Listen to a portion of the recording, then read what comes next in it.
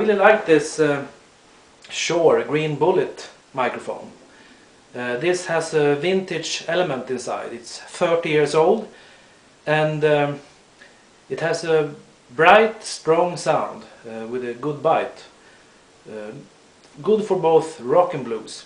One problem with this, it could uh, create feedback easily. So how can I deal with that? As you heard, it's not very nice.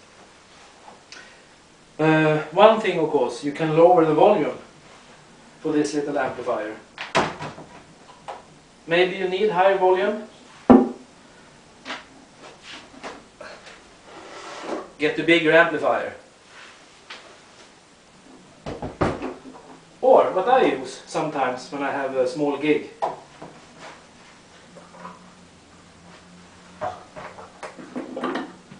Use this uh, Shure SM57 and uh, connect it to the PA system and uh, you get help from the PA system to get the bigger volume.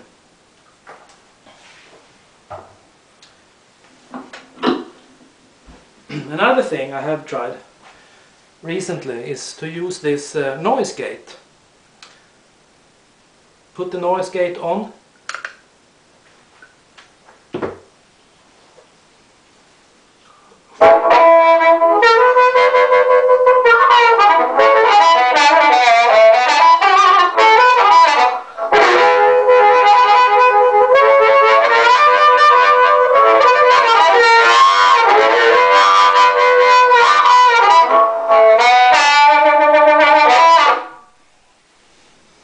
You see?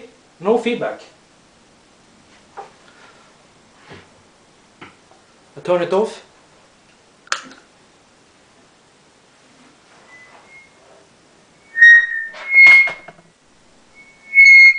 I turn it on. No feedback.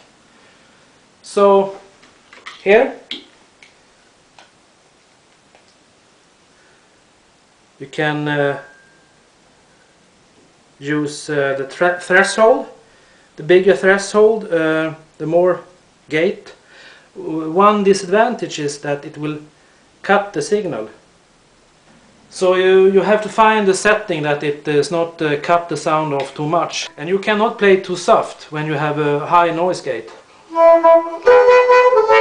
have to force it a little.